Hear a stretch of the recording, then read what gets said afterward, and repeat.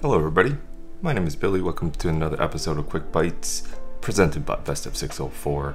And today we're doing Superbaba. Thank you to Bill for the recommendation. This is pretty crazy. There's chicken, and there's fries, and there's a whole bunch of stuff. Oh, like fresh, fresh pita. Just give it a go. Damn. So notice that this chicken, they didn't um, cook it off uh, a rotisserie. It was more like a grill. The way that Chipotle does it. Uh, let's try their fries here. Mmm, fries are good. You can also get this in a bowl. I was recommended to try it in a, a donair wrap, so this is pretty solid, I would say. Uh, better than Abdul's?